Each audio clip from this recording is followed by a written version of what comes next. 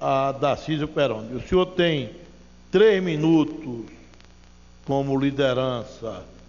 do PSC e dez minutos como comunicações parlamentares. O senhor tem, portanto, 13 minutos.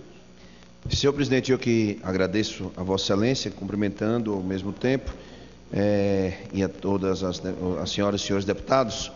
Mas, presidente, eu ocupo a tribuna na tarde de hoje, primeiro, senhor presidente, para dar como lido um pronunciamento que não tivemos, felizmente, tempo para poder fazer na última semana, em nome de toda a bancada do PSC, que é um pronunciamento em homenagem ao Dia do Corretor de Seguros, que foi comemorado no, dia, no último dia 12 de outubro. E nós sabemos que com a Revolução Industrial no nosso Brasil, no nosso país, o seguro acabou se tornando um item praticamente obrigatório em todas as áreas da atividade humana. Afinal, os avanços tecnológicos, as atividades do dia a dia, de alto risco principalmente, demandam a necessidade de termos sempre não é, a atividade do seguro de corretor, do corretor de seguros é, à disposição da sociedade brasileira. E aqui no Brasil, o, o, a atividade de seguros se desenvolveu desde a da vinda da família real portuguesa. O mercado de seguros no Brasil é fortemente concentrado em três subramos: seguro saúde, seguro de pessoas, é, e abre-se o parênteses especial, vida, acidentes e previdência, e seguro para automóveis. Juntos, esses empreendimentos obtiveram 85,7% da receita de seguros da atividade, portanto, em 2012. Essas ações profissionais têm obtido muito sucesso no país, onde o crescimento no mercado de seguros está acima da média do crescimento da economia, dados da Superintendência de Seguros Privados, que indicam que o setor não é de seguros movimenta com, indeniza, movimenta com indenizações, benefícios e resgate, quantia superior a 22 bilhões de reais anualmente. É um cenário altamente favorável aos profissionais de corretores que, por isso mesmo, merecem da sociedade brasileira o seu reconhecimento e os seus méritos pela importância e dedicação que têm todos os corretores de seguros no nosso país. Portanto, queria dar aqui como lido esse pronunciamento em nome de toda a bancada do PSC, em homenagem aos corretores não é, de, de seguros. Outro pronunciamento, senhor presidente, que eu quero aqui também dar como lido, é um pronunciamento que faço aqui é, para evidenciar os 22 anos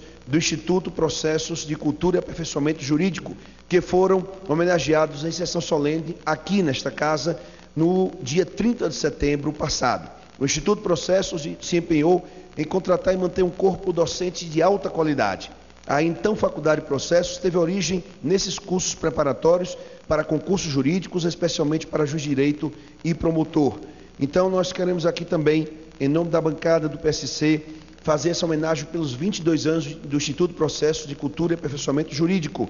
E, na oportunidade também, Queremos aqui parabenizar a instituição por todo o trabalho realizado até o presente na figura do professor Jaci Fernandes de Araújo, criador do Instituto Processo, e da professora Claudine Fernandes de Araújo, diretora-geral da Faculdade de Processos. Mas, senhor presidente, além de dar como lido esses dois pronunciamentos, eu gostaria aqui de fazer um esclarecimento. Nós temos acompanhado aí, nos últimos dias, principalmente é, na última, na, na última quinta-feira e na, no dia de ontem, matérias têm sido vinculadas de forma insistente não é, pela, pela Veja Online ou pela revista Veja. Matérias essas que, na verdade, nós queremos aqui é, esclarecer em relação à pré-candidatura do pastor Everaldo Pereira, que é o vice-presidente vice nacional do PSC, a sua pré-candidatura a presidente da República. Na última quinta-feira, dia 10 de outubro, é, a Veja Online, na coluna do Lauro Jardim, na coluna Radar do Lauro Jardim, traz a seguinte matéria. Admitindo a desistência, o pastor Everaldo PSC já admite alguns correligionários que, se até março não conseguir crescer nas pesquisas, retirará sua candidatura a presidente da República. Ou seja, Aécio, Dilma, Eduardo Campos podem se preparar para lutar pelos minutos do, do, de TV do PSC. Esclarecer que, com todo o respeito que nós temos à coluna Radar, ao jornalista Lauro Jardim, que essa, essa matéria vinculada é, da, de uma possível desistência da pré-candidatura do pastor Everaldo à presidência da República, essa matéria hoje não, é, não, não faz o menor sentido. Toda, todo o trabalho está sendo desenvolvido. O vice-presidente nacional do PSC, o pastor Everaldo, tem viajado e visitado todo o Brasil, tem debatido com a sociedade brasileira em todos os estados, em, muitas, em muitos municípios brasileiros, um programa de governo para que possa ser oferecido à sociedade brasileira como um programa alternativo, um programa que possa verdadeiramente ser construído não nos moldes tradicionais da política brasileira, um programa discutido, debatido em quatro paredes, com técnicos dividido em áreas, para que depois possa ser oferecido à sociedade. Um programa diferente, um programa que vem de fora para dentro, um programa que o pastor Everaldo está discutindo, debatendo com toda a sociedade ouvindo a sociedade brasileira, não só o segmento evangélico, mas todos aqueles que querem hoje debater e discutir um novo programa para um novo Brasil. Então, o, o, o, nosso presidente, o presidente nacional do partido, pastor Veral, tem, tido, tem feito esse trabalho de percorrer todo o nosso país, viajado e cumprindo uma agenda, talvez como poucos pré-candidatos hoje a presidente da República. Então, para poder esclarecer, como também, senhor presidente, esclarecer aqui matéria vinculada na revista Veja desta semana, na coluna Holofote, de, que tem que vem dizendo o seguinte: o PT procura repetir para a campanha da reeleição da presidenta Dilma a aliança de 10 partidos que levou à vitória em 2010. Além desses, quer deixar dois partidos aliados de fora: um para inviabilizar a realização de debates, não é caso seja a vontade da, presidência, da presidente evitá-la, o outro, o outro candidato serviria para atrair o eleitor evangélico que na última eleição votou em peso em Marina Silva, segundo a matéria aqui da coluna Lofote, e esse deve ser o pastor Everaldo Pereira do PSC. Dizer que o PSC não está pronto para cumprir esta missão, de hipótese nenhuma. Nunca foi discutido, nunca foi debatido e essa possibilidade não existe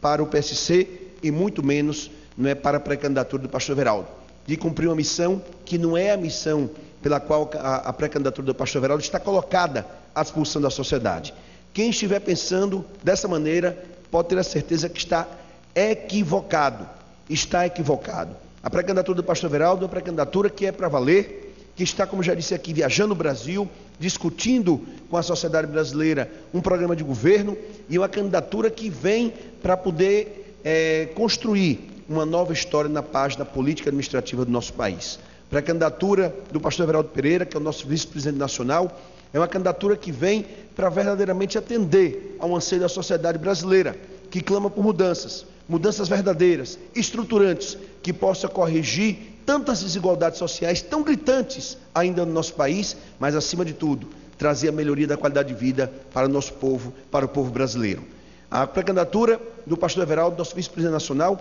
é uma pré-candidatura que tem sido trabalhada, discutida debatida com todos os nossos membros do PSC, com todos os diretórios do PSC, mas principalmente com o povo brasileiro. É uma candidatura que, que nasce não é, do desejo de mudanças que nós queremos para o nosso país e para o Brasil. Então, não existe essa possibilidade de uma candidatura para cumprir uma missão, que é a missão de ter os votos do segmento evangélico, que nós sabemos que hoje é importante, que hoje significa e representa quase 27% do eleitorado brasileiro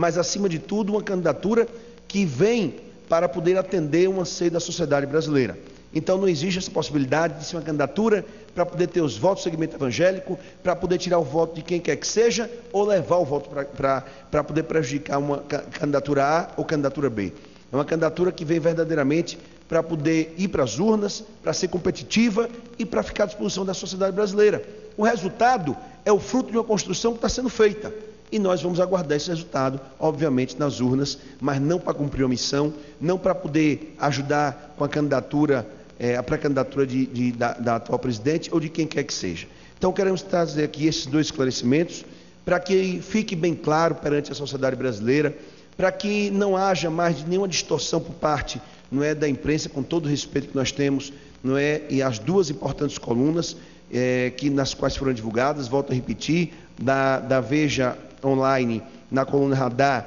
e da Veja, da revista Veja na coluna Lofoto dessa semana, mas para poder esclarecer que a, a pré-candidatura do PSC, o nosso vice-presidente nacional, do pastor Everaldo, é uma candidatura para valer, é uma candidatura que